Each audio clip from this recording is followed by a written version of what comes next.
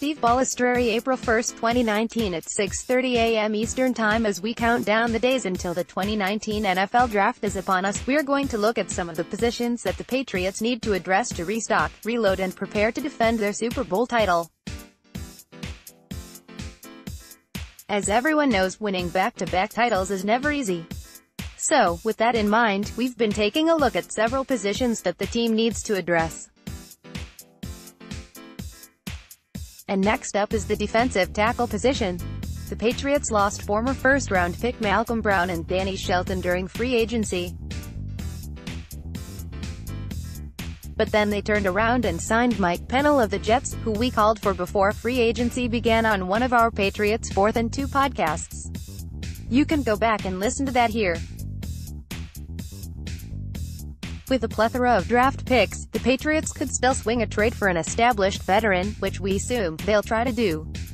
One veteran who has been linked to the Patriots, I know, isn't everybody, is Chiefs DT Allen Bailey.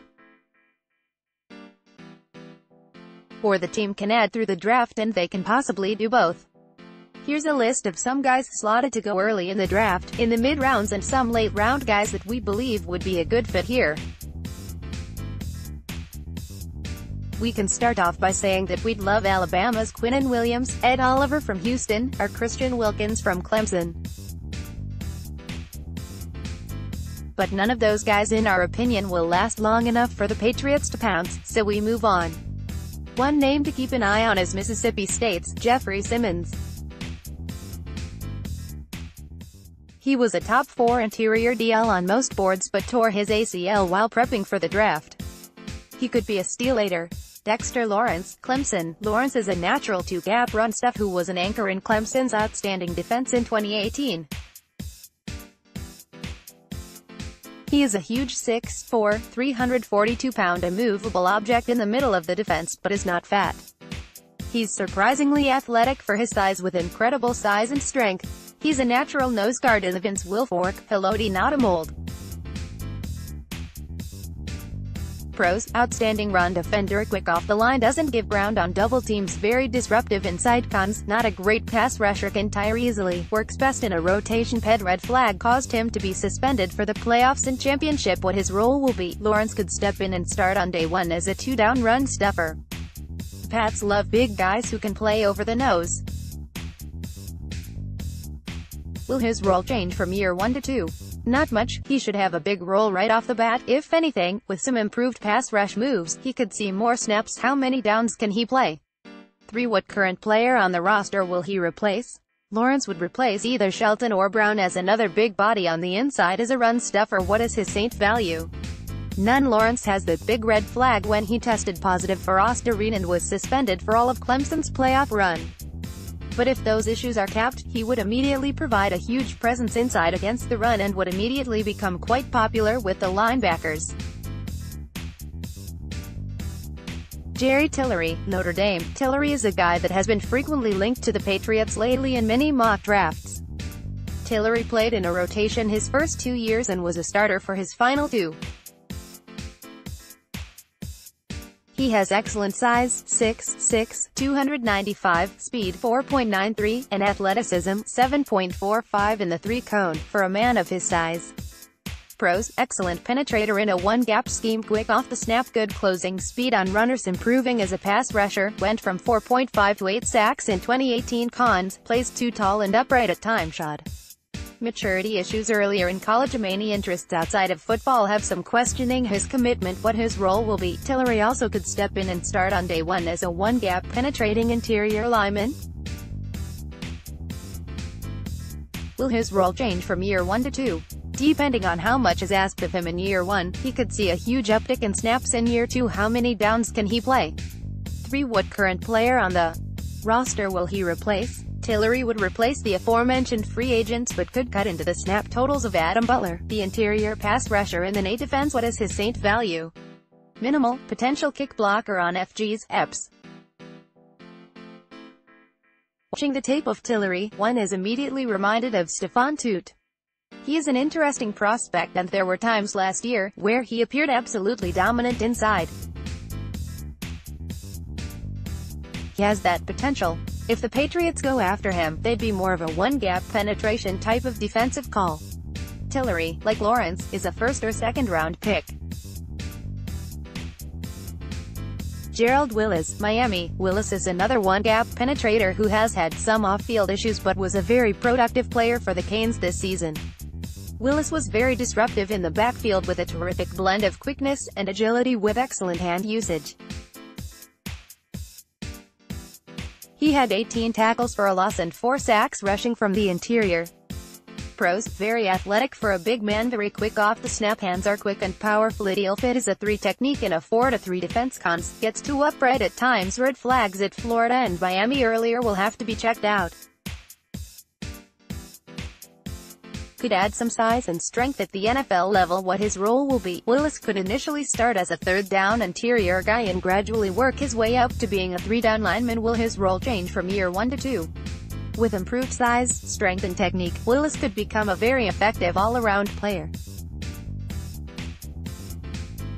How many downs can he play?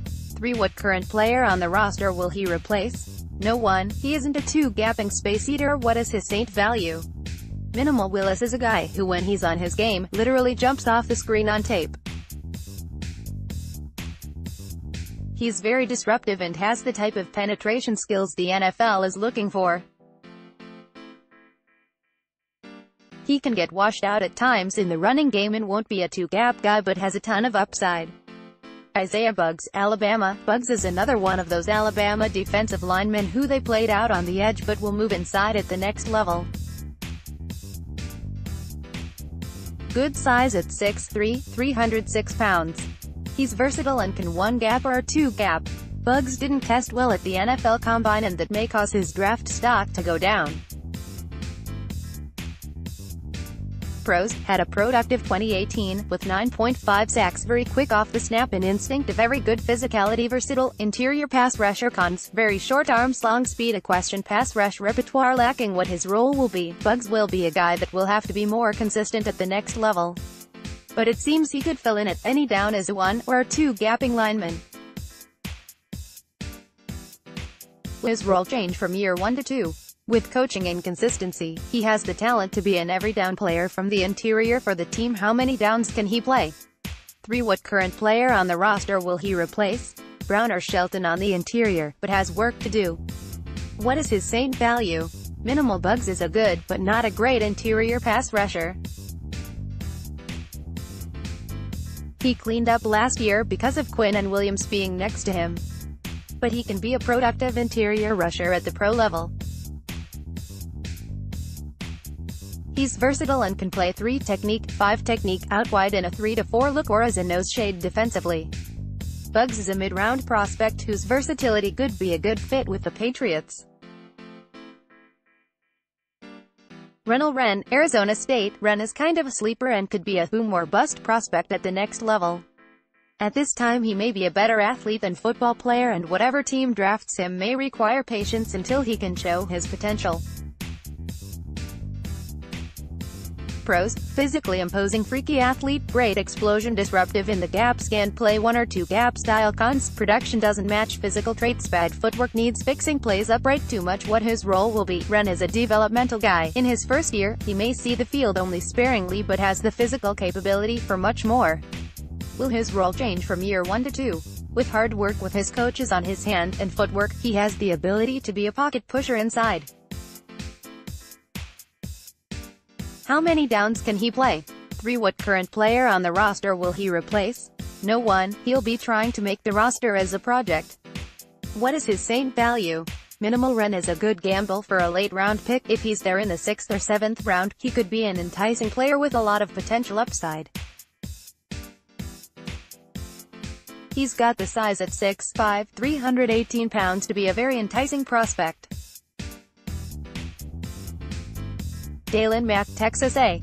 Mack underwhelmed for three years at A. He's a 6'1", 336 bowling ball who flashed big time at the Senior Bowl, being basically immovable at the point of attack. Pros, very stout thick build, perfect for a and immovable object against double teams excellent leg drive can disrupt with good initial quickness cons, just phone booth quickness Ngata good pass rusher gets too upright as he tires what his role will be. Mack is a classic nose tackle in the Wilfork, not a mold. He can eat two gaps and be a two-down run stuffer. Will his role change from year 1 to 2? With some increased pass rush moves, he could see a slight uptick in playing time how many downs can he play? 2. What current player on the roster will he replace? He is a good run-stuffing replacement for the departed Brown and Shelton. What is his saint value? Non-Mack is a guy who the NFL is moving away from, with the trend moving towards pass-rushing specialists, but the Patriots love a big guy who can set the anchor and two-gap over the nose. He's probably going to go later in the draft and would be a big body who can defend the run and be a good disruptor for two downs. Other players that could fit the Patriots defense depending on how the board plays out, include Kingsley Keke, Texas A. After losing Brown and Shelton in free agency, they were a thin there but the addition of Mike Pennel should immediately ease some of that, as he should get starter reps right off the bat. They have Adam Butler, who is more of an interior pass rusher like Wise who they can kick inside. Lawrence Guy is a big man who can stuff the run and generate some pass rush. I'd look for another big man inside who can anchor and take on double teams but there are some very disruptive, penetrating tackles in this draft. Should be interesting to see how they approach this year's crop of rookies. Follow me on Twitter at SteveUp7SFG or email me at emailprotected. Listen to our Patriots 4th and 2 podcasts on Blog Talk Radio as Russ Goldman, Derek Havens and myself from PatsFans.com discuss the latest Patriots news and game analysis.